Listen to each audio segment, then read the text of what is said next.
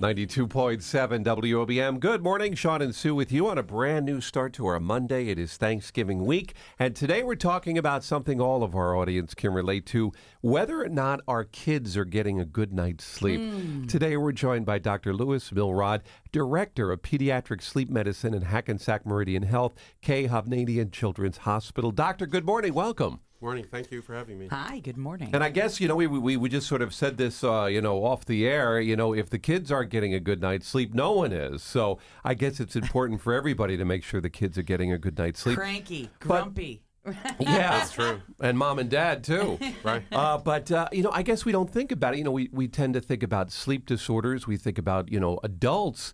But I guess, you know, we talk about, you know, making sure our kids are getting a good night's sleep. Maybe we overlook that sometimes, right? That's right. So, what are some of the things we want to talk about when it comes to kids getting a good, you know, night's rest?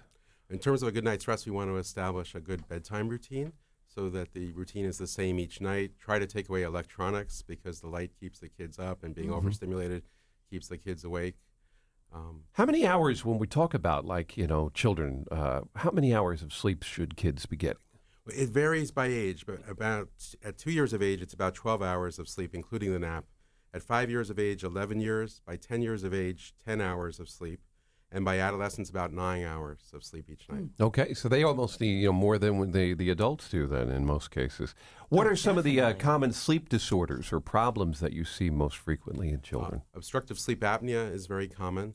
That's usually caused in kids by the size of the tonsils and the adenoids. Mm-hmm. That's where kids have shallow breathing or they may stop breathing while they're sleeping, and that can result in symptoms like attention deficit during the daytime. Wow, Wow. amazing. Yeah, now, I didn't if know we're you know parent listening, what are some of the signs that you know their child might have a sleep disorder or may need a sleep study?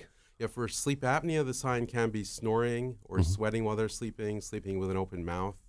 Um, they may be, get uh, tired in the morning, having trouble getting them out of bed, or being tired during the day.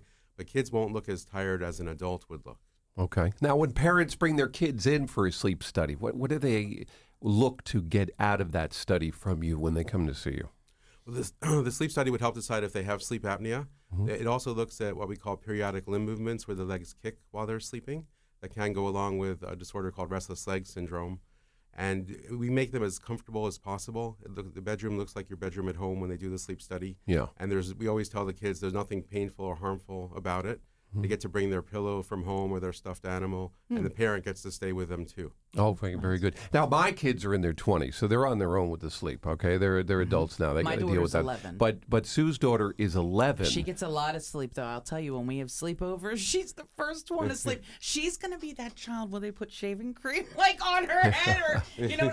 But thank goodness she's a sleeper. now, is that She'll because uh, has be she had a routine? Is that why you think she's I- into her she sleep? She just will say, "I'm going to sleep," and it could be eight, seven thirty at night. It it doesn't matter. and you She started the conversation today saying it's very important for that routine, and I guess this kind of goes back to that then.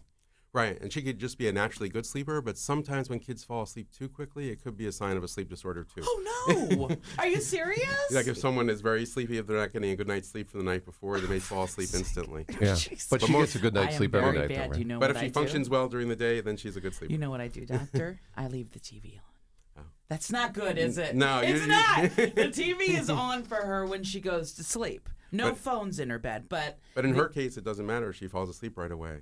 But for other kids, it can lead to later be- yeah. bedtimes. Yeah, Okay. yeah. Now, how could parents learn more from our friends at Hackensack Meridian Health when it comes to uh, pediatric sleep and, you know, finding out more about studies and so forth? They can visit our website, meridianwellrested.com, and the phone number for the website is 844-438-8799. Now, my last question for you is with Santa Claus coming, how do we get him to go to sleep when his Santa's on the way? so that's. Right, that's a night of sleeplessness, isn't it? For that, the parents are on their own. we can't help you when Santa's coming. I remember being up all that's night on those exciting, nights. though. And, that? So. a couple of those nights are probably okay. Right. Knowing that they're not going to school the next day or taking a test. You know, they're going to be tired Christmas Day, yes, but that's that's you're supposed to be like that. Right, it's well worth it. Very nice. Well, we want to thank you for coming in, Dr. Milrod, and uh, meridianwellrested.com is the website to go to. That's right. Make sure your kids are getting a good night's sleep. well rested. Dot com. Very simple to go to and check it out and get your kids a good night's sleep. And in return, parents, you get a good night's sleep as well. So, Doctor, thanks. Have a wonderful holiday season. Thank you very much. You All too. right.